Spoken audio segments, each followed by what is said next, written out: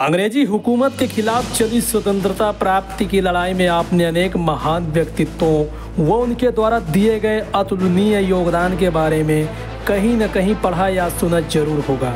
मित्रों, अंग्रेज़ों से स्वतंत्रता के लिए आपने कई वीरांगनाओं के बारे में लोहा लेते हुए भी सुना होगा। उन्हीं वीरांगनाओं में से दक्षिण भारत में बसे रामनाथ साम्राज्य के राजा चिल्ला मैथ्यू, सेतुपति और रानी सकंदी मुतगल की एकमात्र संतान रानू वेल्यू नचियार का नाम आता है। रानी वेल्यू नचियार का जन्म 3 जनवरी 1730 को हुआ था। रामनाथपुरम की राजकुमारी वेल्यू नचियार घुड़सवारी तीरंदाजी में तो माहिरी थी, लेकिन इसके साथ साथ वह युद्ध कलाओं से संबंधित अस्त्र शस्त्र जैसे कि वलारी और सीलम्बम जैसे मार्शल आर्ट में भी प्रशिक्षित थी। न सिर्फ़ रणभूमि की कलाओं में निपुण, बल्कि रानी वेल्यू नचियार को अंग्रेज़ी, फ्रेंच और उर्दू जैसी भाषाओं में भी दक्षता हासिल थी। रानी वेल्यू का विवाह शिव गंगई के राजा मुथु दुगना टपरिया उदय तेवर से हुआ।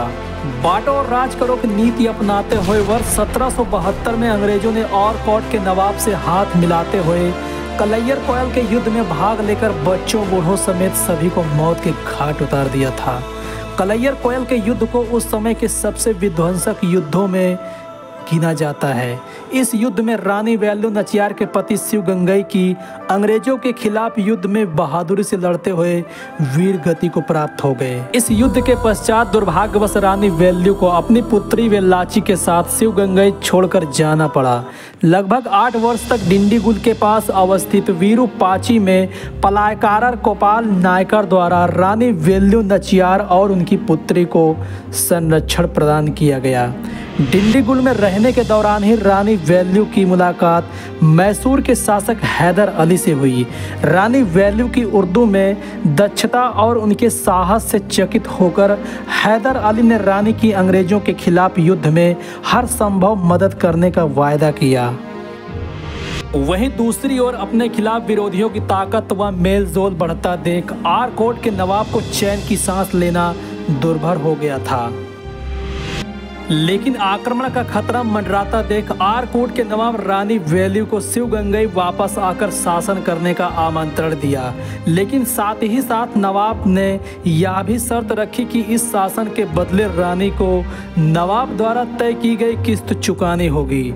वर्ष 1780 में नायकर और हैदर अली की सहायता से रानी वैल्यू नचियार ने ब्रिटिश ईस्ट इंडिया कंपनी के खिलाफ एक युद्ध अभियान छेड़ा। इस युद्ध अभियान के दौरान ही रानी वैल्यू को अंग्रेज़ों के गोला बारूद के ठिकानों का पता चला। तब उन्होंने अंग्रेज़ों के हथियारों को नष्ट करने की योजना बनाई। योजना के तहत रानी की सेना कमांडर कोयली खुद पर ही घी डालकर आग लगाने के पश्चात गोला बारूद के ठिकानों पर कूद पड़ी और वीर गति को प्राप्त हो गई।